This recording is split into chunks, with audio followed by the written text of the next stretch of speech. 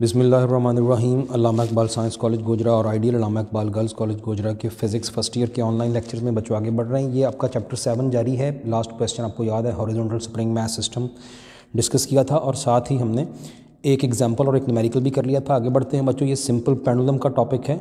अहम long question है। ये भी एक इस नाम से, सिंपल पेंडुलम से पहले भी वाकिफ़ हैं। इसके बारे में कुछ ना कुछ मैट्रिक में भी कुछ कई चीज़ें आपने डिस्कस की हुई हैं और यहाँ भी हमने शुरू में तारफ़ में भी इसका ज़िक्र किया था। ये बच्चों, उसकी डायग्राम आपके सामने है। क्या होता है सबसे पहले तो उसकी डेफिनेशन आपके सामने है कि जी एक small heavy mass attached to a light inextensible string connected with a fixed support at its upper end is called a simple pendulum simple pendulum simply क्या है जी? कि लटका हुआ होता है, ऊपर वाले सिरे के सहारे एक धागा या एक रस्सी कह लीजिए, और वो लाइट है।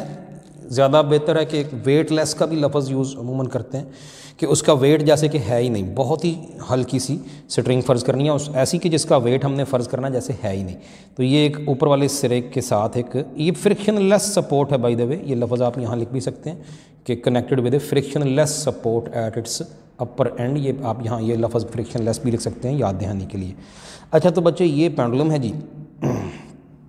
पेंडुलम ये जो लटका हुआ नीचे एक गोला सा होता है, छोटा सा, आपको पता है, इसको बॉब कहते हैं बी ओ बी बॉब और ये वो स्ट्रिंग है जो इनएक्सटेंसिबल है, ये फैल नहीं सकती, लचकदार नहीं है। ये समझ समझिए जैसे रिजड है, ये वाली जो रस्सी है, जिसकी लेंथ बच्चों एल है, और ये बड़ा ही अहम पॉइंट है कि ये इसकी लेंथ जो है ये इसके ऊपर वाले फिक्स सिरे से, ऊपर वाले फिक्स सिरे से बच्चों, ये इसकी जो लेंथ है, ये इस बॉब के सेंटर तक होती है।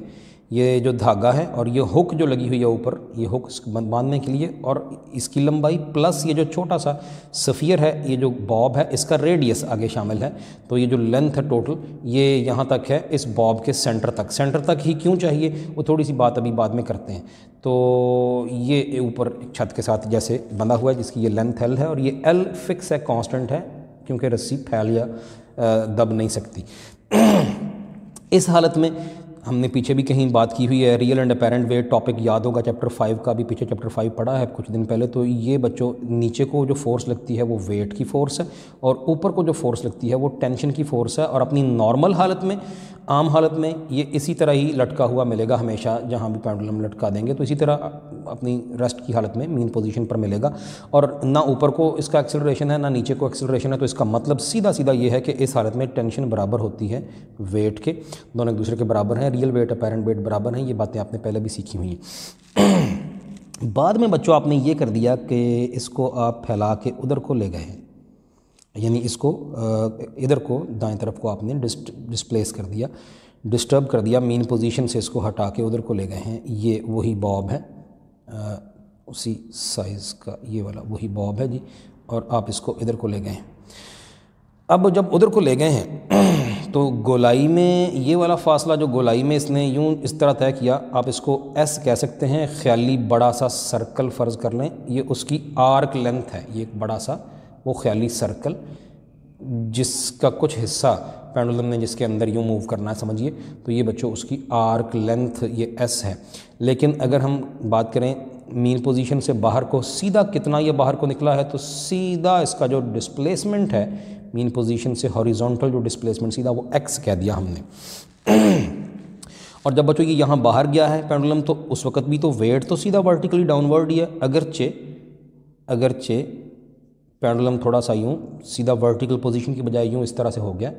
लेकिन उसका वेट तो हमेशा हर चीज़ का वर्टिकली डाउनवर्ड सीधा नीचे को होता है और अपनी सबका हालत से मौजूदा पोजीशन सबका पोजीशन से मौजूदा पोजीशन तक कोई एंगल थीटा इसने बना के उधर को गया है। ये लेंथ अब भी वही है क्योंकि इनएक्सटेंसिबल है, कोई इसमें फैलाव नहीं आना, कोई दबना नहीं है, फैलना नहीं है इसने।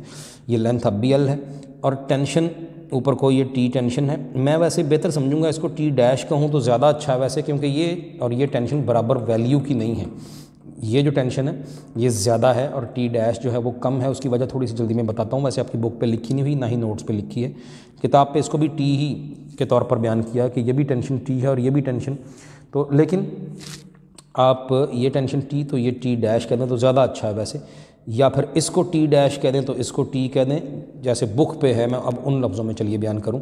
ये क्या मैं बात कर रहा हूँ? अभी बात करता हूँ इसकी। तो ये जो सीधी, ये जो धागा सीधा आ रहा है, इसी को मैं आगे एक्सटेंड करके ख्याली तौर पर इसकी सीध आगे तक मैंने बढ़ा ली। तो इधर भी वही एंगल थीटा बना है, क्योंकि एक वर्टिकल लाइन का इस तिरछी लाइन से जो उसी तरह ही आगे मैंने बढ़ा लिए तो उसके साथ ये भी थीटा ही बनाएगा। अगली बात बच्चों ये है, ये सिर्फ़ ख्याली तौर पर आगे बढ़ा ली हमने, धागे की जो लेंथ थी। उसकी सीध देखने के लिए ये हमने आगे बढ़ा लिया। अब वेट तो सीधा नीचे को है, ज़रा गौर करना।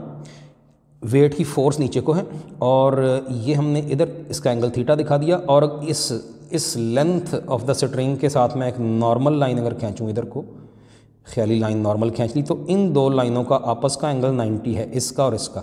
ये बच्चों बिल्कुल वैसी ही सिचुएशन है, जैसा बड़ी दफ़ा देख चुके हैं कि ये इधर को अगर फोर्स थी फोर्स एफ़ ये वाई एक्सिस है, ये एक्स एक्सिस है, यहाँ पर थीटा है तो फोर्स सेंटर में है और उसके दोनों कंपोनेंट जो हैं वो उसकी साइडों पर होते हैं। ये है एफ़ एक्स और इधर है एफ़ वाई ये बातें पीछे बड़ी दफ़ा हो चुकी हैं।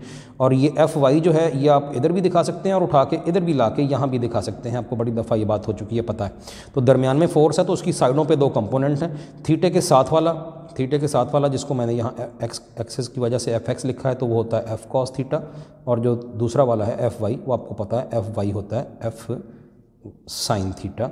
यही बात अब यहाँ अप्लाई कर तो ये सेंटर में फोर्स है एम जी, उसका थीटे के साथ वाला, इधर को जो कंपोनेंट होगा, उसको यकीनन अब आप जानते हैं क्या लिखेंगे, उसको लिखेंगे बच्चों एम जी कॉस थीटा। और जो दूसरा वाला रह गया है, जो इस वाले कंपोनेंट के परपेंडिकुलर है, इस आर्क लेंथ एस के साथ जा रहा है। ये आर्क लेंथ जो एस थी, इस जगह मैंने, चलिए ये शो कर दिया। और ये वाला कंपोनेंट है जी एम जी साइन थीटा वजह सारी मैंने बता दी है ये आपके सामने। जिसको मैं अब अब मैं यहाँ से फिनिश करता हूँ। दोबारा देखनी हो तो वीडियो को रिवाइंड करके फिर देख सकते हैं। तो इस वक्त जब ये मेन पोजीशन पे था तो टेंशन को मैंने टी डैश कह दिया आपकी आसानी के लिए, और यहाँ पर टेंशन टी है।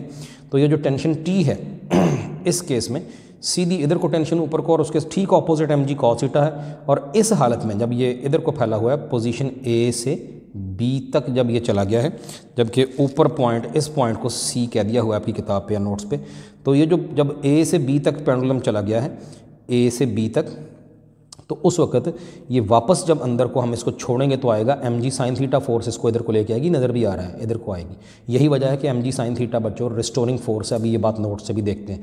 लेकिन इस केस में ऊपर को टेंशन है, इधर को, उस टेंशन के बिल्कुल इधर को, ये टेंशन ऊपर को यूँ तिरछी थीटा एंगल के साथ ये यूँ जा रही है और उसके ठीक opposite M G cos theta है। तो इस केस में यहाँ पर हम लिख सकते हैं कि जो टी टेंशन है वो बराबर है एम जी कॉस थीटा की। क्यों लिख सकते हैं? क्योंकि एक बॉडी पर दो फोर्सेज लग रही हैं।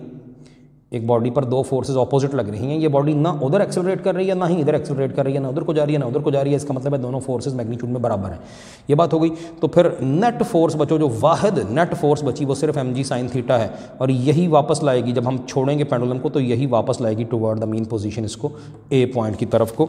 इसीलिए इसी फोर्स को कहेंगे restoring force F R restoring force और इसकी डायरेक्शन डिस्प्लेसमेंट के ऑपोजिट है टूवर्ड द मेन पोजिशन यही वजह है, यही वजह है कि मैं बच्चों, यहाँ पे रिस्टोरिंग फोर्स एफ़ आर को लिखूँगा minus M G sine theta minus sign सिर्फ़ ये शो करने के लिए कि जिधर को हम लेके गए थे, जिधर को हमारी अप्लाइड फोर्स थी, उस तरफ़ को ही डिस्प्लेसमेंट था। डिस्प्लेसमेंट हमेशा मीन पोजीशन से बाहर को होता है ऑसिलेशन में ये बातें पहले लेक्चर में बता चुका हूँ। तो उस डायरेक्शन के ऑपोजिट है रिस्टोरिंग फोर्स माइनस साइन का मतलब है डायरेक्शन रिस्टोरिंग फोर्स की टुवर्ड द मीन पोजिशन है। सिंपल सी बात। अगली बात ये कि यहाँ पर अब एक अप्रॉक्सीमेशन यूज़ करनी है जो आपने याद रखनी है, बड़ी ख़ास एक बात ये, अनोखी थोड़ी सी जो हट के कह लीजिए ख़ास बात है वो ये है कि for for small angle theta बच्चों एंगल जब थीटा बहुत स्मॉल हो मतलब पूरा ही ज़ीरो हो थीटा ज़ीरो है ना ज़ीरो डिग्री तो पता है साइन थीटा क्या होता है?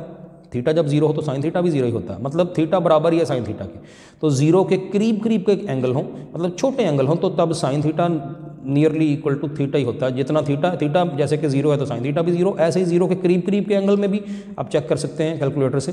थीटा की वैल्यूज़ पुट करें ज़ीरो के करीब करीब के छोटे एंगल्स पर तो साइन थीटा की भी छोटी सी वैल्यू आएगी नियरली थीटा ही आएगी। तो हम कह सकते हैं कि साइन थीटा तकरीबन थीटा ही होता है। नियरली थीटा के बराबर होता है फॉर स्मॉल एंगल थीटा और ये हमने एक चीज़ यहाँ पर, ये एक अजम्पन कह लीजिए, ये इस्तेमाल करनी है कि हमने यहाँ थीटा वेरी स्मॉल रखना है, तब ज़रा कैलकुलेशंस की आसानी रहेगी। ये एक हेल्पिंग टूल है कैलकुलेशंस को आसान बनाने के लिए जो हम करने लगे और उसे पर रिज़ल्ट जो निकलेगा भी देखते हैं क्या निकलेगा।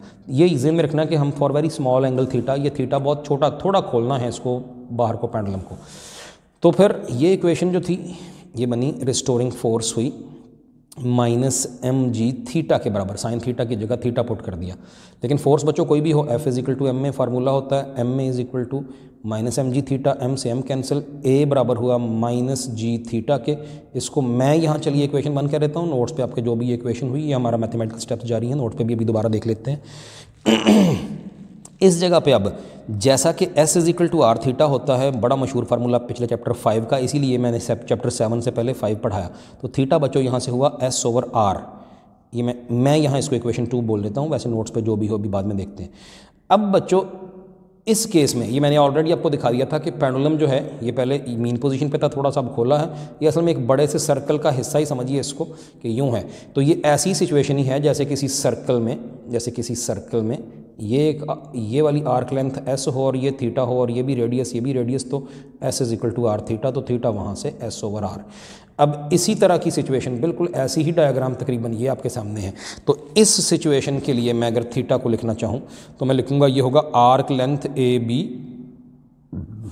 ये जो एस है arc length A B divided by जो रेडियस है, इधर भी एल उधर भी एल जैसा ये आर उधर भी आर तो यहाँ पर ये एल है तो ये बना जी ओवर एल और आगे चल के बच्चों, आगे चल के अगले कुछ स्टेप्स इसी तरह तो ये इक्वेशन नंबर थ्री मैंने कह दी। अभी याद रखें कि जिसको मैंने यहाँ इक्वेशन वन कहा है, अभी हमने वापस इसमें लौटना भी है, अभी वापस थोड़ी देर बाद आते हैं थीटा की कोई वैल्यू यहाँ से निकालनी है। लेकिन हम कह चुके हैं ऊपर for very small angle theta ये थीटा बहुत थोड़ा खोलें तो जैसे यहाँ दिखाया है, ये तो गोलाई में है आर्क लेंथ आप समझिए, ये सिर्फ़ बात समझाने के लिए डायग्राम थोड़ी खोल के बनाई है, लेकिन और भी थोड़ा है थीटा और भी थोड़ा, और भी थोड़ा है। तो यहाँ वो बात अब यूज़ करनी है, जो पीछे कभी कई जगहों पे आप बड़ी दफ़ा यूज़ कर चुके हैं फिज़िक्स पढ़ते हुए फ़र्स्ट ईयर में। आपको पता है कि जब ये वाली आर्क लेंथ कुछ लंबी है तो गोल है। लेकिन जब छोटी सी हो गई तो ये देखें स्ट्रेट हो गई। ये सर्कल की बाउंड्री पर बहुत छोटा हिस्सा उठाएँ तो फ्लैट होता है स्ट्रेट होता है। आप, आप में से सबको याद आ रहा होगा ये बातें हमने बड़ी दफ़ा की हैं। तो ये बहुत छोटा हिस्सा फ्लैट होता है। तो जब थीटा फ़र्ज़ कर लिया बहुत छोटा है तो ये समझिए सिर्फ़ आपको बात समझाने के लिए डायग्राम खोल के बनाई है। थीटा और छोटा फ़र्ज़ कर लें और छोटा तो ये जो एस है जो गुलाई में थी ये ऐसा ही लगेगा जैसे सीधा फासला एक्स है। एस जो है वो स्ट्रेट फासला एक्स जैसे फील होगा जैसे कि ये मैंने समझा दिया आपको इस जगह पे। जो एस है ये ऐसे ही होगा जैसे सीधा फासला एक्स है। चुनाचे for small theta for small theta हमने पहले ही बात कर दी है। फॉर स्मॉल बच्चों थीटा हमने पहले ही बता दिया है। फॉर स्मॉल थीटा ये जो ए बी आर्क लेंथ है, ये जो एस थी, वो असल में असल में हो जाएगी एक्स के बराबर। चुनाचे सो वो जो इक्वेशन थ्री मेरे पास थी यहाँ थीटा जो था ए बी ओवर एल था। सो अब थीटा हो गया ए बी की जगह एक्स एक्स ओवर एल मेरे पास, मैं इसको इक्वेशन फोर कह देता हूँ, चलिए। ये वाली वैल्यू बचो थीटा की हमने पुट करनी है पीछे आपकी इस इक्वेशन में जो हमने छोड़ी थी, मेरे पास जो यहाँ इक्वेशन वन मैंने कही है नोट्स पे भी आप इसको देख लीजिए जो भी है वहाँ पे। तो ए इज़ इक्वल टू वो था माइनस जी थीटा तो उसकी जगह पे अब ये आ गया माइनस जी और थीटा की जगह एक्स ओवर एल यानी मैं दोबारा लिखता हूँ ए हुआ minus G over L into X यूँ कह सकते हैं। और बच्चों, ज़रा गौर करना ज़रा गौर करना, ये जो जी है, ये तो at a given place constant होता है, पता है। एल भी कांस्टेंट है लेंथ वो तो पहले ही कह दिया था कि इनएक्सटेंसिबल है लेंथ तो चेंज नहीं हो रही उसकी। तो फिर ये हुआ A is equal to minus into constant into X which means A is proportional to minus X कुछ याद आया बच्चों? जी हाँ शाबाश, ये पीछे आपने देखा हुआ है। ये डेफिनीशन है एस एच एम की, साबित कर दिया आपने बच्चों कि सिंपल पेंडुलम की मोशन एस एच एम होती है। ये एक पोर्शन इस टॉपिक का हमने कर दिया है। वैसे अभी थोड़ा सा कुछ हिस्सा इस टॉपिक का अभी बाकी है, लेकिन मैंने क्या क्या बातें कर दी हैं, वो सारी जो अभी अभी आपके सामने की हैं, वो आपके सामने ये ये सारी उसी तरह से मौजूद हैं। डेफिनेशन हो गई थी एक्सप्लेनेशन में कहता है in normal condition a simple pendulum retains its mean position at point A due to the gravitational force M G तो नॉर्मल हालत में तो वो एम जी फोर्स की वजह से मीन पोजीशन पे रहता है, लेकिन when an applied force disturb the pendulum through a displacement x जब अप्लाइड फोर्स की वजह से बाहर को चला गया ये पेंडुलम डिस्टर्ब होकर then the weight is resolve into two two components as shown in figure तो वेट के दो कंपोनेंट हो गए एम जी कॉस और एम जी साइन थीटा जैसे शक्ल में दिखाए गए। अब साबित करना to prove that the motion of simple pendulum is S H M तो वही स्टेप्स आपके सामने अभी अभी किए हैं। पीछे रिवाइंड करके फिर देख सकते हैं इसमें वीडियो में। तो एट पॉइंट बी कहता है the forces T and m g cos theta cancel each other इस पॉइंट पे टेंशन और एम जी कॉसिटा तो कैंसिल कर रही हैं तो वाहद फोर्स सिर्फ़ एम जी साइन थीटा बची है। The force m g sine theta is the only force which produces acceleration in the simple pendulum जब वहाँ से छोड़ देंगे हम तो ये वाली फोर्स वापस मीन पोजीशन पे लेके आएगी, और जो मीन पोजीशन पे लाना चाहती है बाई डेफिनेशन उसको हम कहते हैं रिस्टोरिंग फोर्स तो फिर तो ये जो force m g sine theta है, ये वही वाहद फोर्स है which produces acceleration in the simple pendulum clearly was तौर पर m g sine theta serves as restoring force which is given by F is equal to minus m g sine theta. Negative sign बताया है shows that the restoring force is directed toward the mean position यानी opposite to displacement x ये force लग रही है। ये सारी बातें अभी अभी पीछे कर दी हैं, सिर्फ़ रीडिंग कर रहा हूँ। Now for very small for for theta to be very small sine theta nearly equal to theta होता है। बताया था अभी आपको तो साइन थीटा की जगह थीटा पुट कर दिया। वो जो अभी इक्वेशन आई थी F is equal to minus m g sine theta अब बन गई माइनस एम जी थीटा तो फोर्स तो F is equal to m में होती है। एफ़ फोर्स की जगह पुट कर दिया। एम में is equal to minus m g theta m से एम कैंसिल ए हुआ माइनस जी थीटा ये वही जो अभी अभी पीछे हमारी जो यहाँ पे इक्वेशन वन थी, इस जगह पे। नोट्स पे वैसे ये चलें तो इक्वेशन फोर है। बार बात आपको समझ, उम्मीदें आ रही है। और क्योंकि s is equal to r theta होता है तो थीटा यहाँ से एस ओवर आर लेकिन डायग्राम के मुताबिक एस तो यहाँ ए बी आर्क लेंथ है और आर की जगह यहाँ एल है। ये बातें सारी अभी अभी हो चुकी हैं, ये सारी बातें पीछे मौजूद हैं, अभी अभी हुई हैं। तो पुट किया, इसको थीटा हुआ arc length a b over l लेकिन कहा ना theta is assume to be very small तो वो तो बहुत छोटा है तो फिर arc length nearly equal to x ही मानी जाएगी। ये बात अभी अभी मैंने यहाँ पर अभी अभी समझाई है। चुनाचे फिर, थीटा हुआ एक्स ओवर एल और ये वाली वैल्यू थीटा की बच्चों, वो ऊपर पुट करनी है इक्वेशन फोर जो नोट्स में है। तो ए बराबर हुआ minus g x over l यानी ए हुआ, ये एल नीचे आ गया जी के तो minus G over L X यानी ए हुआ minus G over L X और जी और एल दोनों कांस्टेंट हैं तो ए हुआ माइनस कांस्टेंट इनटू एक्स यानी ए हुआ proportion to minus x result क्या हुआ? It is clear from the above relation इस रिलेशन से साबित हुआ that a simple pendulum performs S H M during its vibrational motion लें जी एस एच एम हमने साबित कर दी। अभी टॉपिक फिनिश नहीं हुआ बच्चों। Write a complete note on simple pendulum का एक हिस्सा भी हुआ है। अभी सिर्फ़ इतना हुआ कि हमने साबित कर दिया कि simple pendulum S H M से मूव करता है। अब उसका टाइम पीरियड निकालना है तो अब काफ़ी हद तक उस तरह के स्टेप्स हैं। उस तरह के बहुत हद तक ये स्टेप्स करने लगे हैं, जिस तरह के मैं आपको याद दिलाने लगा हूँ। हॉरिजॉन्टल स्प्रिंग मैथ सिस्टम में आपने किए थे। ये टाइम पीरियड का फार्मूला था। टू पाई ओवर ओमेगा और ओमेगा की कोई वैल्यू स्प्रिंग मैथ सिस्टम के लिए तो k over m under root आई थी। यहाँ अब कुछ थोड़ी सी और देखते हैं। सिंपल पेंडुलम के लिए क्या आएगी? तो वो आपके सामने है जी। कहता है time period of simple pendulum निकालना। तो टाइम पीरियड का तो formula two pi over omega है। कैसे है, क्यों है, पीछे हम देख चुके हैं, जानते हैं। But for a simple pendulum अभी अभी ए ये निकाला था। ए आया है minus g over l x तो वो पुट कर दिया, वो लिख दिया दोबारा। Also for S H M ये बड़ा मशहूर फार्मूला एस एच एम का जो पीछे भी अप्लाई किया था, जो उस टॉपिक को जो अभी मैंने दिखाया आपको, जो पिछला आपने पढ़ा था, ये वहाँ भी यूज़ किया था ये। ए इज़ इक्वल टू ये वो प्रोजेक्शन एन का फार्मूला एक्सेलरेशन का जो एस एच एम परफॉर्म करती है minus omega square into x लेकिन ए होता है minus omega square into x और यहाँ एक्सेलरेशन आया है पेंडुलम का minus g over l x दोनों एक्सेलरेशन एस एच एम के हैं तो comparing equation two and three ये नए सिरे से नंबरिंग इक्वेशंस की दे दी है इस हेडिंग के तहत। तो इन दोनों को कंपेयर किया तो माइनस ओमेगा स्क्वेयर एक्स ये वाला बराबर है minus g over l x x दोनों तरफ़ कैंसिल हो गया माइनस से माइनस कैंसिल हुआ, बच्चों ओमेगा स्क्वेयर हुआ जी ओवर एल और आपको पता है ओमेगा की वैल्यू चाहिए स्क्वेयर नहीं तो दोनों तरफ़ स्क्वेयर रूट ले लिया। तो ओमेगा हुआ g over l under root अब ये एम वगैरह के लिए ख़ास बात याद रखनी है कि अगर हमारे पास स्प्रिंग मैथ सिस्टम है तो बच्चों ओमेगा यानी एंगुलर फ्रीक्वेंसी जो होती है, वो होती है के ओवर एम अंडर रूट जिसमें के है स्प्रिंग कांस्टेंट एम है साथ बंधी हुई मैस और अगर सिंपल पेंडुलम बच्चों हुआ सिंपल पेंडुलम हुआ तो फिर ओमेगा होता है g over l under root ये बात अब, ये पल्ले मान लेनी है, याद भी रखनी है।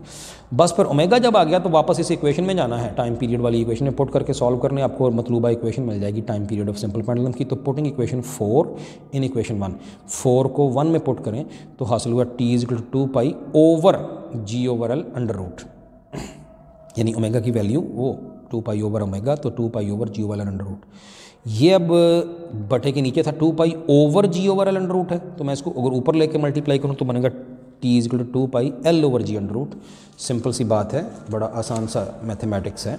ये मैं यहाँ फिर से कर देता हूँ तो बच्चों अभी अभी देखा कि टाइम पीरियड क्या हुआ?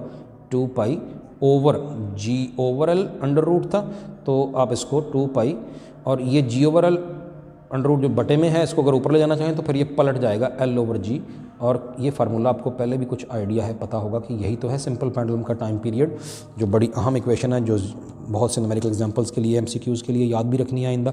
और बच्चों, जब टाइम पीरियड निकाल लिया सिंपल पेंडुलम का तो फिर बड़ी आसान बात है फ्रीक्वेंसी कैसे मिलेगी? वन ओवर टी जो भी ये आया था, उसका इन्वर्स तो सिंपली ये आया था two pi l over g under root तो मैं सिंपली लिखता हूँ, फिर फ्रीक्वेंसी आ जाएगी वन ओवर टू पाई और ये भी इन्वर्स होकर पलट जाएगा g over l under root तो बड़ा आसान सा काम है। टाइम पीरियड आ गया तो फ्रीक्वेंसी ईजिली निकल आई। लें जी बच्चों, ये पेंडुलम का टॉपिक ऑलमोस्ट फिनिश है, बस एंड पे रिज़ल्ट क्या हुआ? रिज़ल्ट क्या हुआ? रिज़ल्ट ये हुआ, ये कुछ आपके लिए पहले भी निशान वगैरह लगाए हुए हैं तो रिज़ल्ट ये हुआ कि सिर्फ़ टाइम पीरियड भी और फ्रीक्वेंसी ऑफ़ सिंपल पेंडुलम भी दो चीज़ों पर डिपेंड करते हैं लेंथ ऑफ़ द पेंडुलम और जी की वैल्यू पे। अगर किसी भी दी गई जगह पे, क्योंकि जी की वैल्यू कांस्टेंट होती है तो फिर तो सिर्फ़ लेंथ पे डिपेंड करेगा। वैसे तो जी की वैल्यू जो जो पहाड़ों पे जाएँ, बुलंदी पे जाएँ तो कम होती है। नीचे आ जाएँ सतह समंदर के पास तो जी की वैल्यू मैक्सिमम पॉसिबल हो जाती है। लेकिन at a given place g की वैल्यू कॉन्स्टेंट है। अगर बता जगह चेंज करें पेंडुलम की, कभी वो कराची था, कभी लाहौर था, कभी केटू की चोटी पर था तो फिर जी की वैल्यू भी चेंज होगी। ये भी एम का बड़ा हम पॉइंट है। तो ये दोनों फार्मूले बताते हैं टाइम पीरियड और फ्रीक्वेंसी ऑफ़ सिंपल पेंडुलम के, कि टाइम पीरियड भी फ्रीक्वेंसी भी सिर्फ़ लेंथ ऑफ़ द पेंडुलम और एक्सेलरेशन ड्यू टू ग्रेविटी पर डिपेंड करते हैं, अगर ये दोनों वेरिएबल हों। टू पाई तो खैर नंबर है कांस्टेंट है। और अहम बात यह है कि दो चीज़ों पे नहीं डिपेंड करते।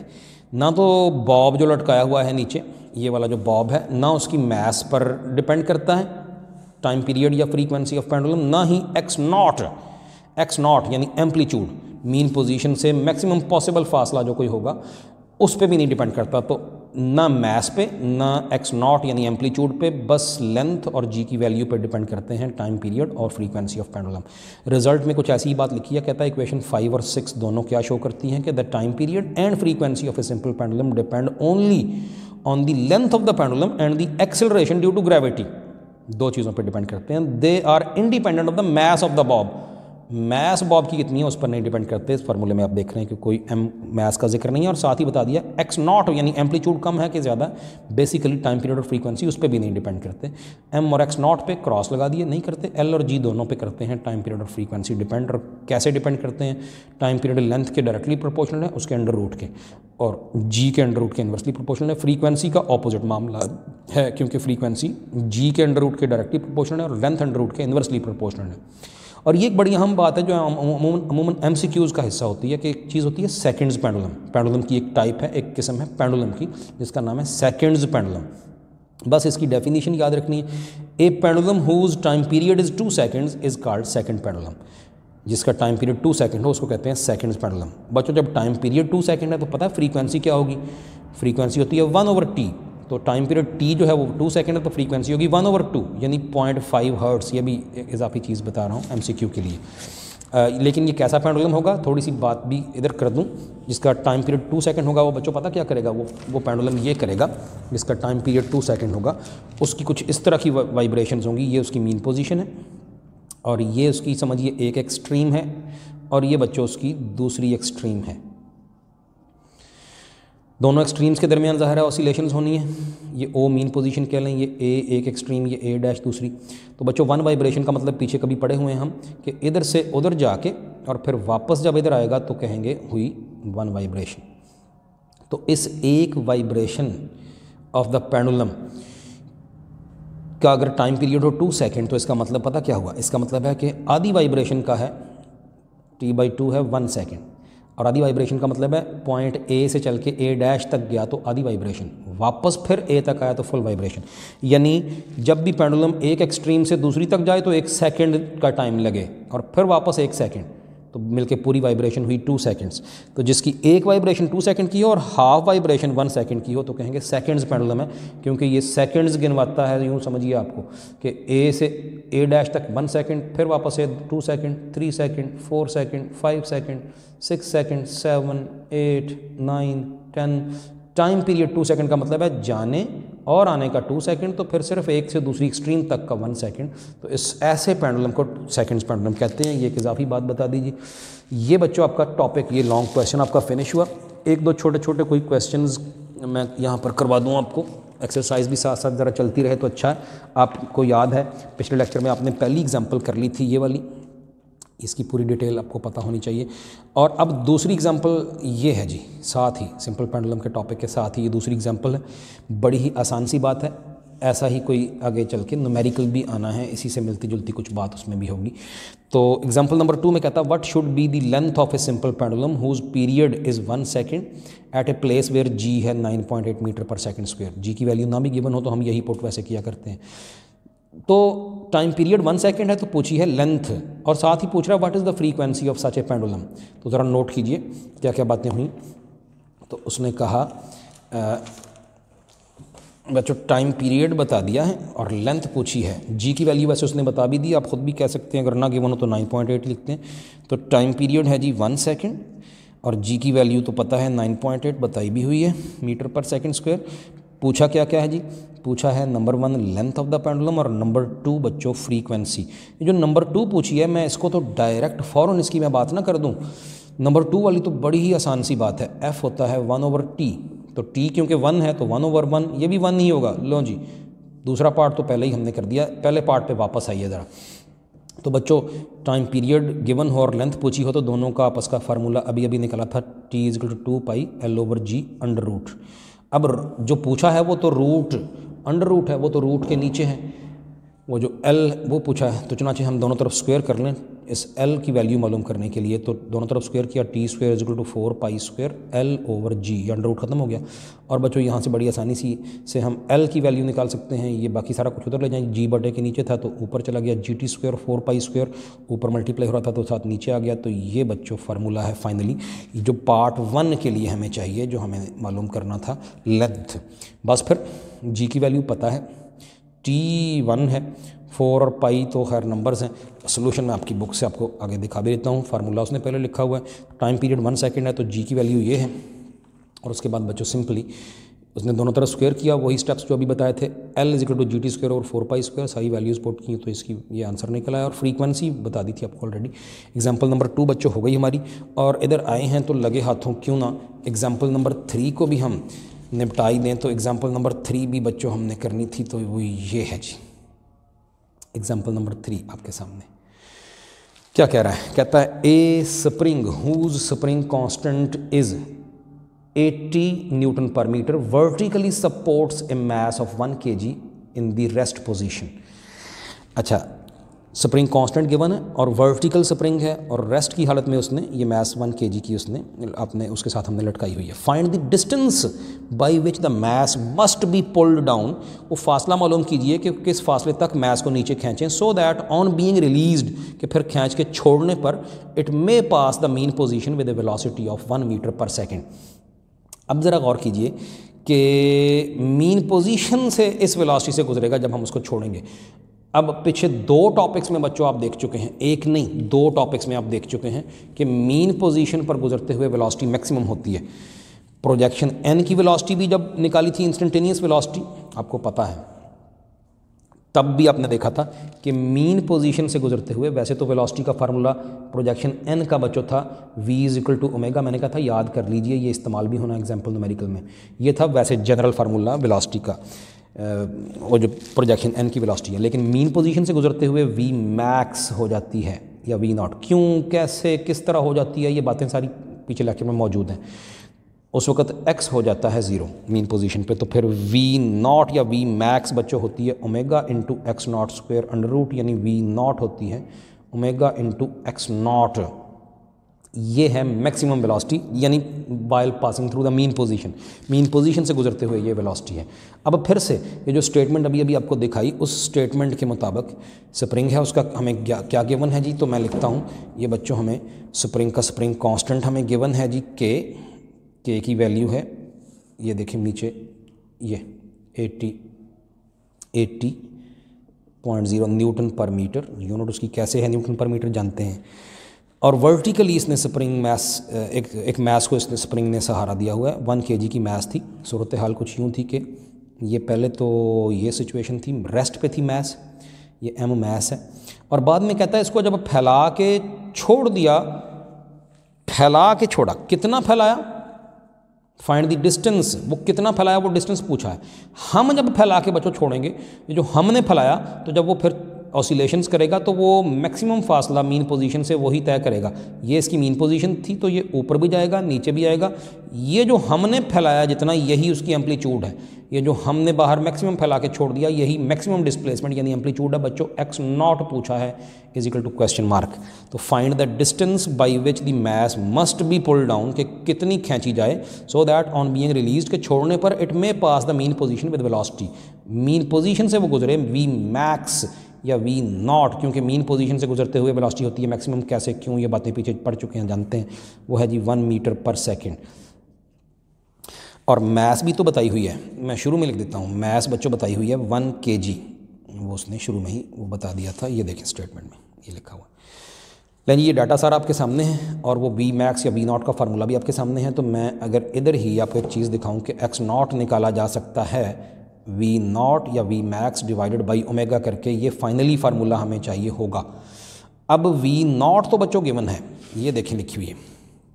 हमें ओमेगा चाहिए all we require is the value of omega और स्प्रिंग मैथ सिस्टम के लिए ओमेगा होता है के ओवर एम अंडर रूट अभी अभी इसी लेक्चर में पीछे दोबारा दिखाया था आपको हॉरिजॉन्टल स्प्रिंग मैथ सिस्टम के लिए भी वही यूज़ होता है वर्टिकल स्प्रिंग मैथ सिस्टम है तब भी यही है। स्प्रिंग मैथ सिस्टम क्या? ओमेगा होता है के ओवर एम अंडर रूट तो के तो गिवन है एम भी गिवन है। बस फिर हो गया। पहला स्टेप है जी ओमेगा निकालने के और एम की वैल्यू पुट करके, वो निकल आया तो फिर दूसरा स्टेप ये है कि एक्स नॉट होगा वी नॉट ओवर ओमेगा और यही इसकी सोल्यूशन भी दिखा दूँ। के था गिवन एम थी गिवन ओमेगा स्क्वेयर चले उसने ओमेगा स्क्वेयर की वैल्यू लिखी है, वो पीछे वो कभी निकाली थी के ओवर एम यानी ओमेगा आ गया के ओवर एम अंडर रूट तो फिर के भी है एम भी है पुट किया, ये सॉल्व किया 8.94 सेकेंड इनवर्स ओमेगा की, ऐसा यूनिट सेकेंड इनवर्स होती है। क्योंकि ओमेगा बेसिकली उसकी वजह भी बता दूँ, क्योंकि ओमेगा चलिए, ये है जी टू पाई ओवर टी तो टू पाई तो नंबर है, उसकी तो कोई यूनिट नहीं है। टी बटे के नीचे है टाइम पीरियड है, उसकी सेकंड होती है तो बन गई सेकंड इनवर्स यहाँ से। यहाँ से इसकी यूनिट बनी है यूनिट बनी है second inverse unit of omega बनी है सेकंड इनवर्स जिसको आप रेडियन पर सेकंड भी कह सकते हैं वैसे, क्योंकि रेडियन खुद डायमेंशन लेस है। रेडियन पीछे या, याद करें जाएँ पीछे चैप्टर फाइव में कहीं शुरू में ही कहा था हमने। बारह ओमेगा की यूनिट सेकंड इनवर्स भी लिख सकते हैं। तो ओमेगा बच्चों आ गया और let the amplitude of vibration वो एक्स नॉट है तो वही पूछी है। अब यहाँ इसने लिखा नहीं है लेकिन वी नॉट है ये एक्चुअली आप आपने लिख लेना है अपनी किताब पे ये वी नॉट होता है बच्चों ओमेगा एक्स नॉट या एक्स नॉट ओमेगा यहाँ से एक्स नॉट निकालना तो वी नॉट ओवर ओमेगा ये सारी डिटेल यहाँ मैंने मैंने बता दी है। अभी अभी आपको ये बताइए ये वाली। बस फिर। वी नॉट हमें गिवन है। वी नॉट या वी मैक्स हमें गिवन है one metre per second square omega हमने अभी अभी निकाला है। बस फिर वैल्यूज़ पुट करनी है और सॉल्व कर लेना है। ये भी आपकी हो गई जी एग्ज़ाम्पल चलें जी। थैंक यू वेरी मच जी। आज का लेक्चर आपका फिनिश हुआ।